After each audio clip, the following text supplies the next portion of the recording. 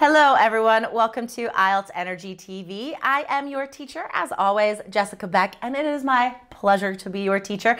Today, you are going to learn what these band scores mean in IELTS speaking. Next time I'll talk about writing, but today we're gonna go deeper and I'm gonna tell you what does it mean if you are a six, a seven, an eight, a nine? What do those mean as far as your ability to speak English on test day?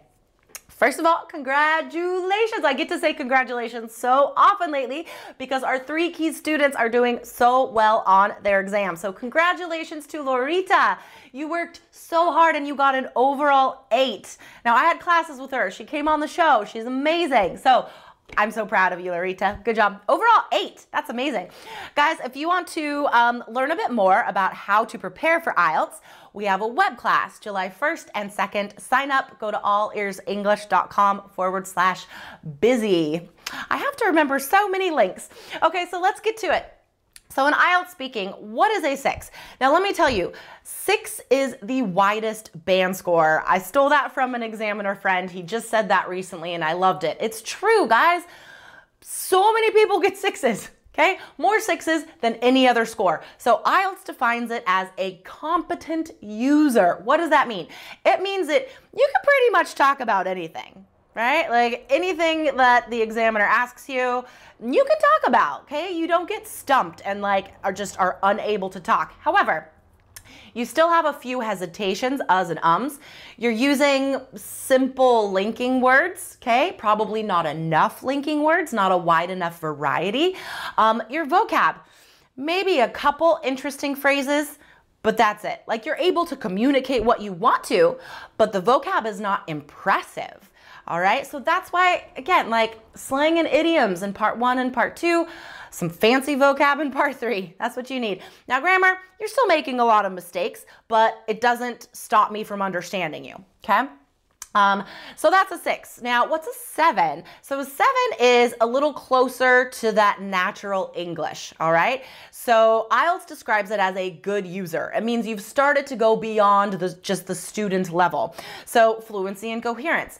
You're able to talk about everything and you're able to offer some like interesting uh, deeper ideas in part three you're able to go into more detail in all of your answers. Um, you're using some impressive linking words. You have some noticeably interesting vocabulary, some impressive words and phrases, and you're still making mistakes in grammar, but you have some sentences that are perfect.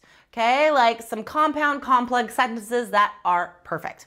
Okay, but you're still making enough mistakes. Okay, but you do have some perfect sentences. Now, an eight, an eight is Beyond that, of course, IELTS describes that as a very good user.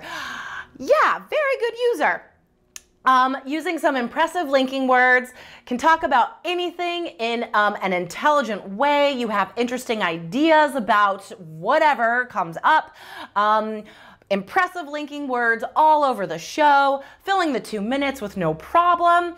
A lot of noticeably interesting vocab, variety of sentence structures. So why isn't this person a nine? Because they still have some mistakes. That's basically the difference between an 8 and a 9, is that an 8 still has some mistakes, whereas a 9 is perfect. So IELTS defines 9 as an expert user, and as I've said before, even native speakers don't get nines on the speaking test unless they've prepared or unless they have like a job where they talk a lot, right? Professionally. Like me, for example. Um, so a nine is completely perfect in all respects. You can go into detail, you have impressive, complicated structures and vocab and just like perfect, perfect. So an eight is like that, but it's not perfect. You have a few mistakes. So those are the basic differences, guys. Um, if you have more questions about IELTS speaking scores, remember I was an examiner for 14 years. Ask me in the comment section below and maybe I'll do a future video about it. To see deep advice from me on about a real IELTS student, go to allearsenglish.com forward slash band. That's B-A-N-D. Detailed expert feedback from me on a real student's mock test. All right, everyone, enjoy the rest of your day. See you next time. Bye.